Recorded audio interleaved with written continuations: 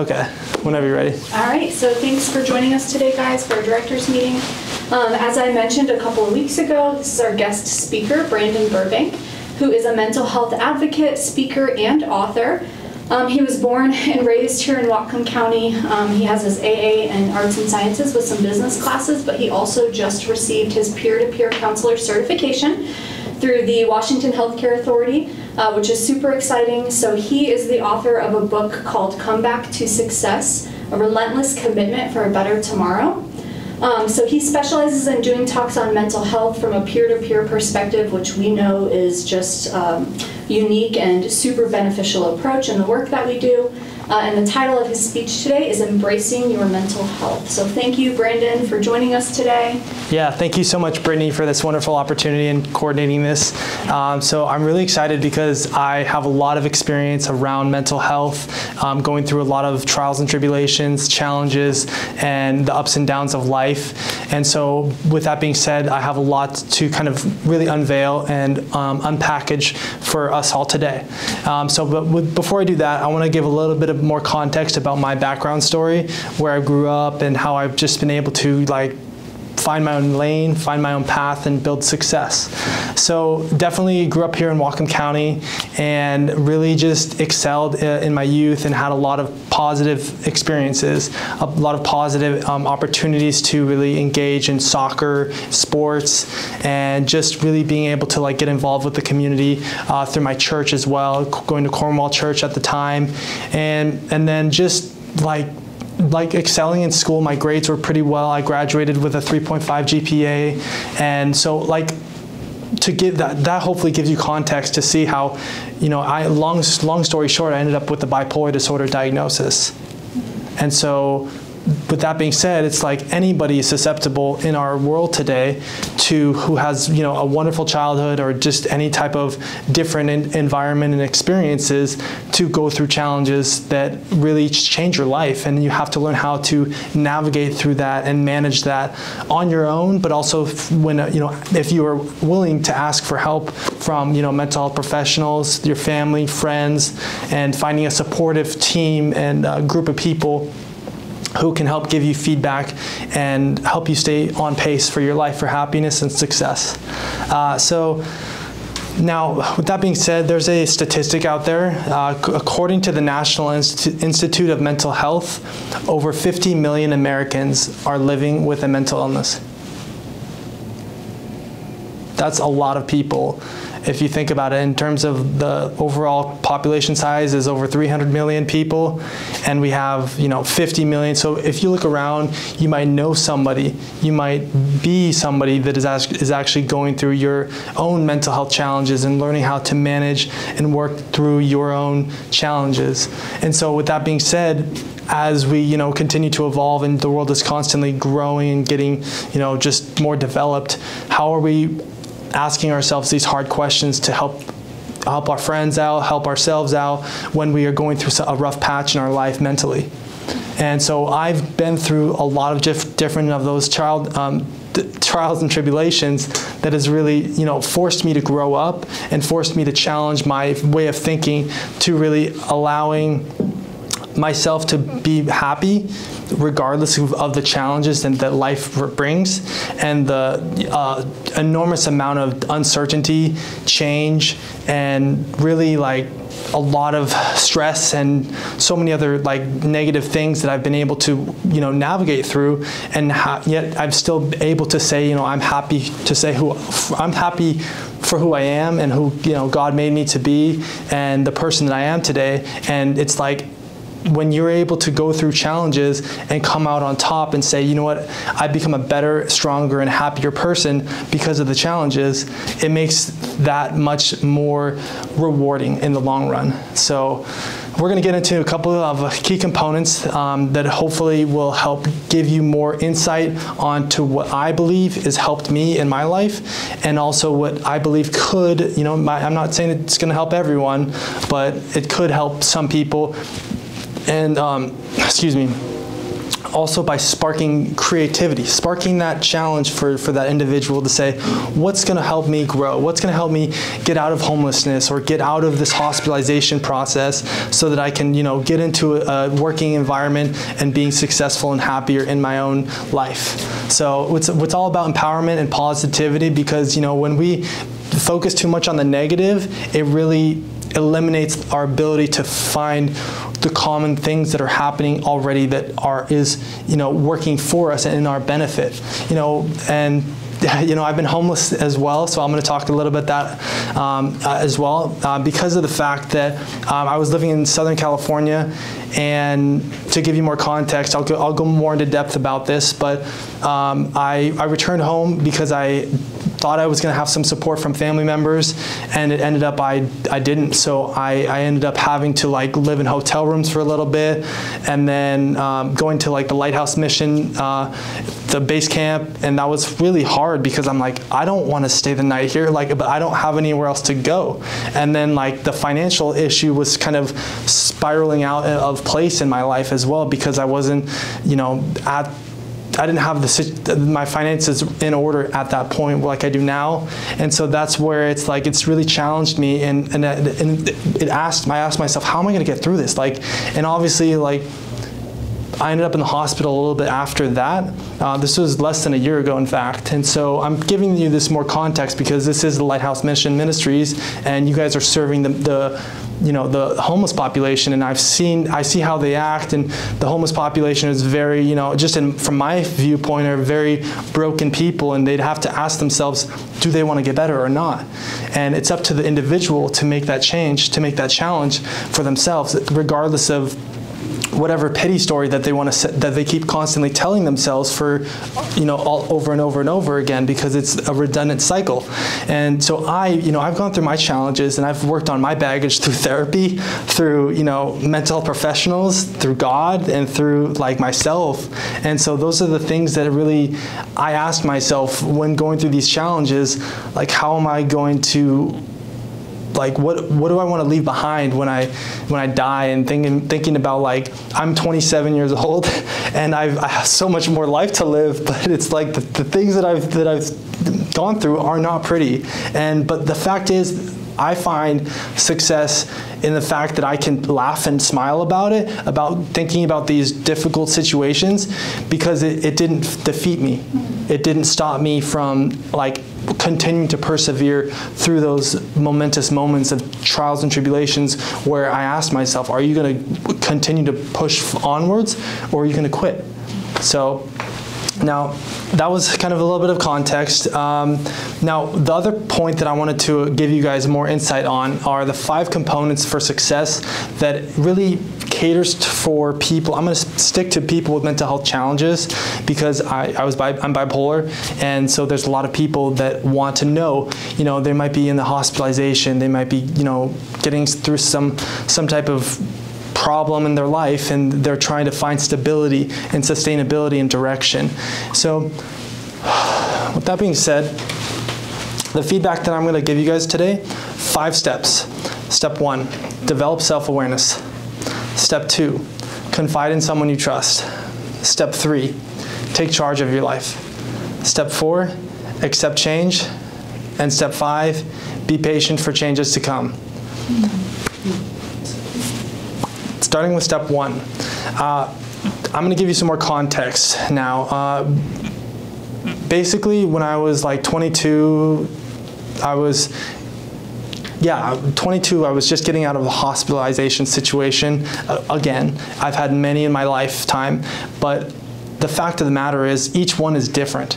Each has different reasons, different circumstances, different times for a recovery, but as I continued to like go through these, you know, challenges of hospitalizations and being part of the mental health system, I started to ask myself, you know what, I, I have much more in, in store of what I feel like I can accomplish, feel like what I can achieve and what I can provide of value towards other people. I'm really good at talking. I love to just talk to people about success and sometimes too much, but that's okay.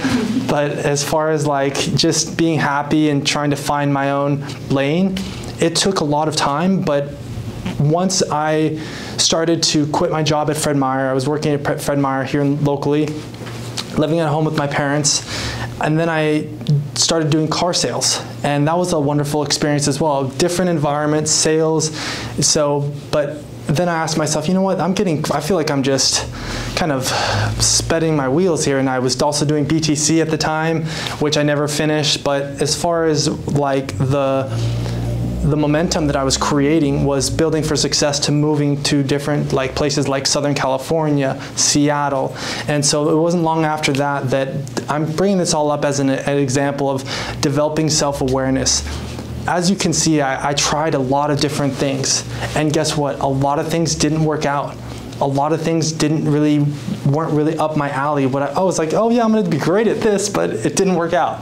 But it's, it's that's my point is like if you develop self-awareness and have a strong sense of interest and desire to better yourself and to like ask yourself how can I get better today? And like even today I was on a run before this and I was like you know I'm so excited to talk and really just share my feedback. And not everybody loves to hear what I have to say which I recognize and I respect because you know what? That's that's their opinion and I'm gonna do my thing stay in my own lane and I know it's gonna help a lot of people and that's really the bottom line is really but with self-awareness, there's a couple of different ideas as well that really goes into alignment with that um, component topic, and that is um, like trusting your gut instincts. So there's been many times, and when you know we all know this, when you're in your really uh, you know, a dark place or just a struggling place in a moment in your life, and you have to ask yourself, how am I going to get through this? What do I need to do? Rather than just asking other people, you got to you got to make the decision for yourself, and that's called discernment. Uh, it's it's taken me a long time to learn this skill and this ability to asking myself real and logical questions. What's best for me, not for X, Y, Z, this person, to pleasing this person or that or this or that. It's like asking myself, how is this going to help me benefit my life and continuing to be on pace towards the person that I want to become? And, and that's really where you can ask, make that distinguished uh, difference between good decisions and bad decisions that are helpful for your growth. Um, and then as far as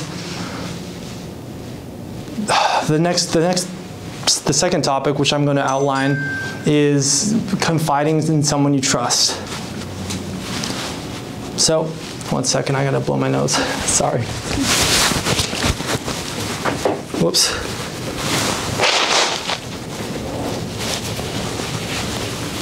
Thank you. Um, so, as far as the, the second the second thing goes, which is confiding in someone you trust, um, I'm going to give you another ex tangible example of something that I had to face really with, uh, with a lot of open-mindedness and asking myself, how am I going to get through this? This is a difficult situation, but with God and with my own abilities to ask myself, how can I get overcome this? It can get better.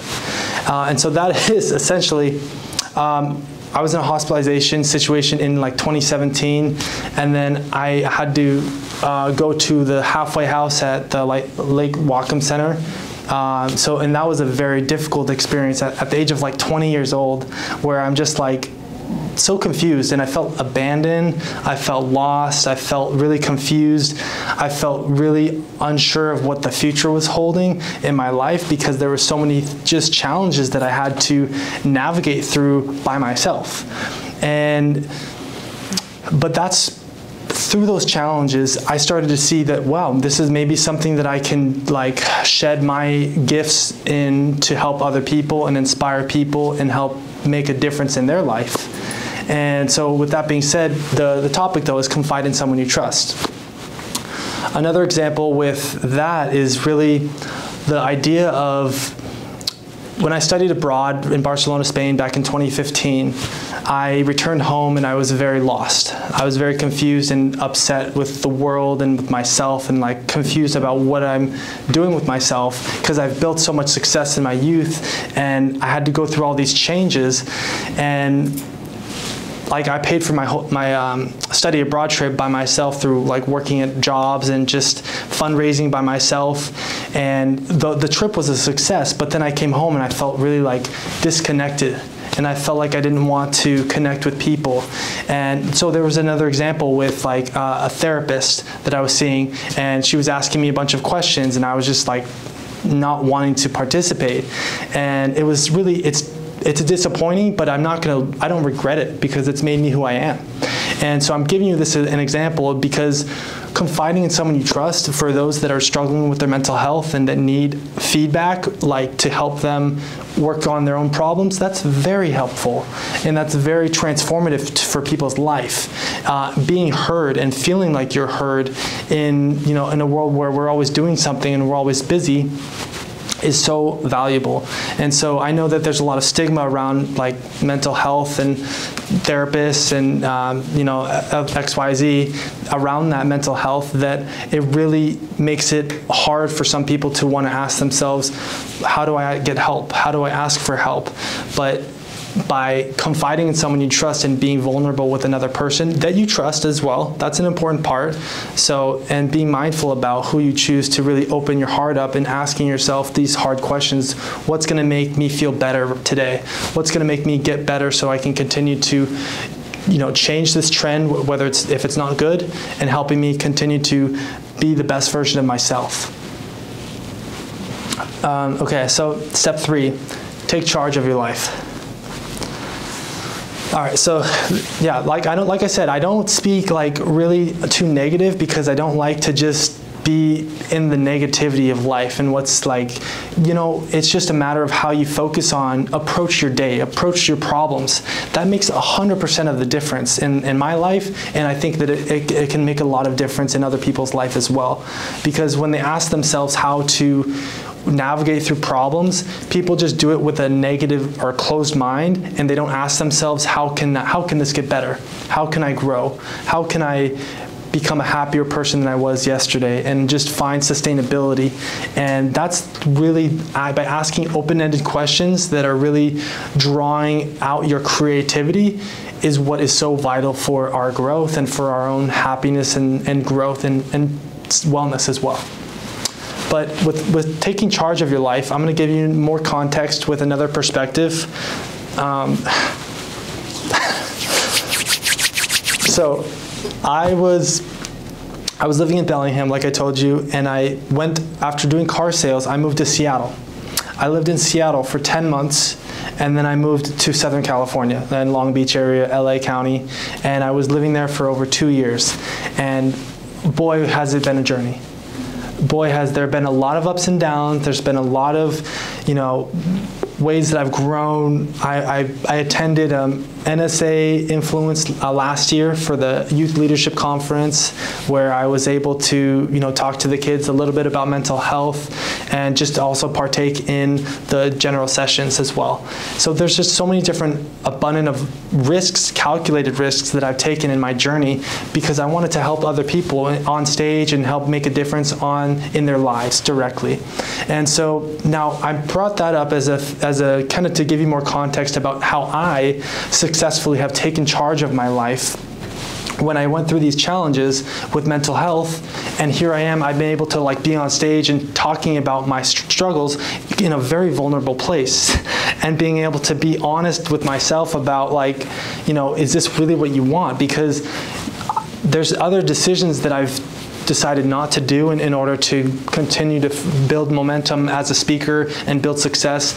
Now, that is a profession but I'm talking about like more at a more personal level with people who are struggling with their mental health. They're going to be asking themselves, how do I get like how do I get out of the hospital and start working on like or how do I not be homeless? And that and that's where that's where the, the, the hope comes into play, because there's a lot of good news that I can share about the whole idea with. Um, to those that are, feel like they're struggling, you have to ask them. I have like if I was talking to somebody who's homeless right now, I'd be asking myself like, you know, why are why are you why are you in that position right now? What has led you down that road? And many of the times, I would say it's up to the individual. If they're an adult, obviously, but if it's a child, it's a totally different ball game. And so that's where not being in a victimhood to your circumstances is a great place to start to change your overall outlook on your life and seeing the beauty of what is around us every single day that where life is filled with opportunity and chances to change.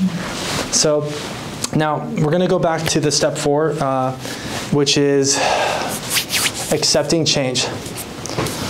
So I talked a little bit about the halfway house and what that really did to my life. You know, psychologically, it was not a pleasant experience. Like I was like I was this 20 year old that was kid that was like you know about around very severely mentally ill people and didn't have any type of you know socialization and involvement with people. I didn't have my car at the time either, so it was very you know isolating.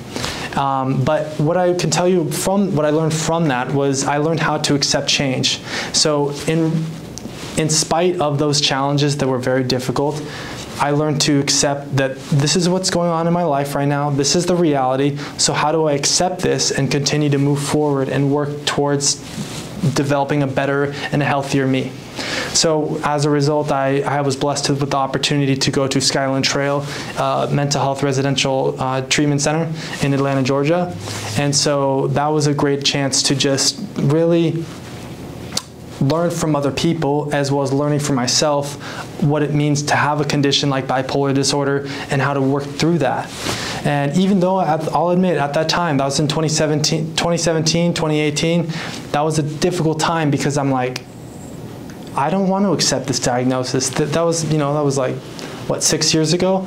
And so because of that, it's like there's a lot of people in this world who might be diagnosed or who might be undiagnosed and who are not willing to accept that in their own life. And my take on that is it took me years to do that. Like if six years ago I would have been like, Uh, just not willing to talk about it or just not wanting to do that. But I've taken the, the role and the stewardship of radical acceptance is the word I like to say because what that does is it helps me acknowledge this is what I have, this is what I'm dealing with, and so I take the responsibility of putting myself up at a higher level of responsibility for myself than other people who are going through challenges or who might not have the same similar mental health challenges as myself. Um, and then wrapping up to the last part, which is be patient for changes to come. Um, to give you a little bit more context, when I was in Southern California, uh, so I, wrote, I published my book in 2021, and I, I, that was when I was I started doing working on it when I was in Seattle, and but it's like I just started to ask myself how do I you know make a difference? And also like you know I have I feel like I have a lot of gifts. And other people can judge me all they want and that's fine. And I've had that happen many times before because when you're an up and coming speaker and you want to make a difference and have a lot of perspe perspective and ideas to share not everybody's going to accept what you have to say and that's okay. And I'm, I'm, I'm acknowledging that. But I'm also acknowledging that you know the patience that I've had that, that's required to get to this point in my life. And for those people out there that are struggling with their mental health you know if, if you just if you're in a hospital now and you're like okay how do I get through that? It's one day at a time. I mean that's the best way I can tell you is asking yourself you know, maybe you went for a walk today. That's a win. Maybe you went for a run today. That's a win. Maybe you went and bought groceries for yourself or learning how to rent for yourself for the first time in your life. Those are different situations and circumstances and so comparison towards other people is a bad thing to do in my life in my opinion and so um, definitely in wrapping up this video or this uh, perspective and feedback for you guys, I wanted to just say the five steps again.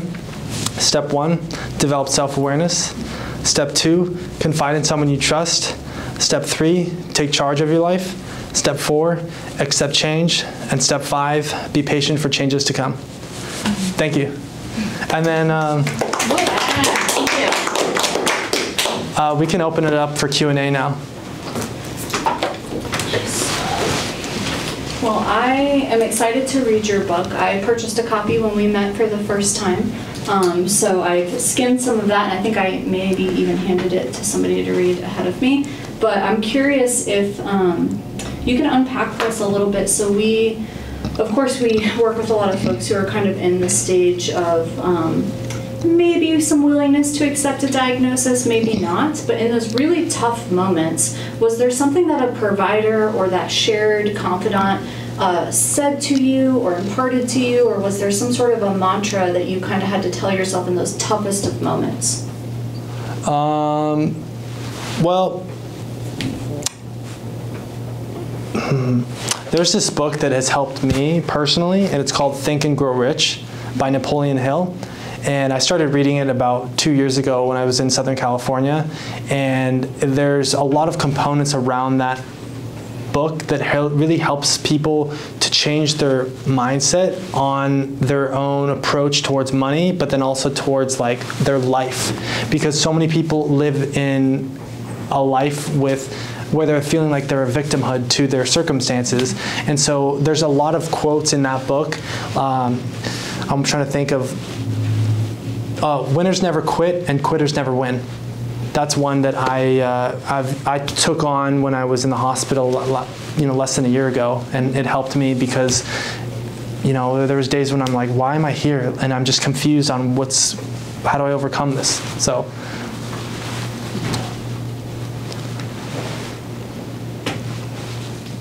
I was also curious on um, when you were in the phase of um, accepting some services, some of the day services at Lighthouse Mission at base camp, but not necessarily feeling like you wanted to stay there. Um, from from a guest perspective, as somebody who was kind of new to Lighthouse in that arena, um, what did it what did it feel like as a first timer? Was it scary? What made it scary? Honestly, I would say for me, I felt like I was like did not know what I was getting into at all. And so I had to really like ask myself like is this what I want because I had the choice of like you know either going to the hospital or continuing to be homeless.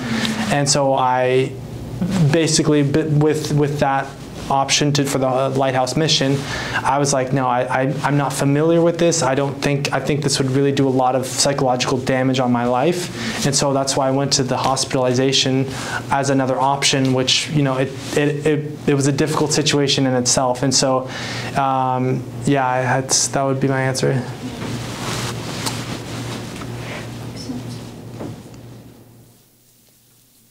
I just want to say that was a great talk. Thank you so much. That was vulnerable. You look great. You're obviously very well organized. Mm-hmm. And um, I don't know if you practice this or not, but it looks like you put a lot of work into um, your presentation here. Thank you. I really appreciate that. Thank you. Yeah. Yeah, it's very hopeful. Just as I know for many of our folks um, going through, I think might be in any of these steps um, of, of of these five steps that you have here, but just seeing that hope of like, wow, how much you've overcome as a person and like just even your own acceptance of your diagnosis. And it sounds like that was a pivotal point in your life of like moving forward and getting um, some traction under your feet. Um, I think honestly, what it did for me was it helped me discover my passion. Yeah. Like it helped me discover more of my purpose. Yeah. And that's mm-hmm. one thing that many people in this world lack. And, and that's why mm-hmm. they're so miserable or unhappy in their life. You know, of course, life is challenging, but if you find something that it doesn't feel like work or that feels like it's a journey, like every day, then trust me, you're going to be a lot happier than you could than you are now. Mm-hmm. I love step five too, like mm-hmm. waiting for change. Mm-hmm. Patient, wait for change. I feel like there's a lot that could be said about that.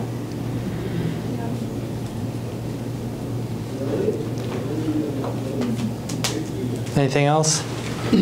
I've I knew you a while ago, um, so I'm just kind of curious, like what you're, what else you've been up to now. Like, have you been speaking to a lot of other groups and stuff, or?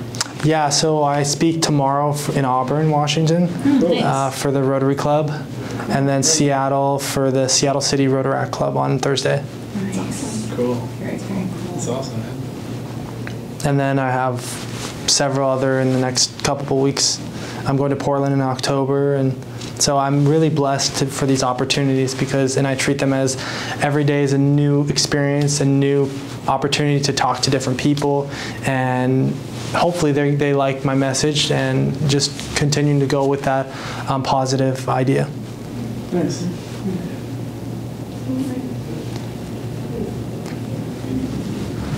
All right, we'll wrap it up. We'll- we'll- I'll cut the, the cameras now. Thank you. Thank you. Thank you.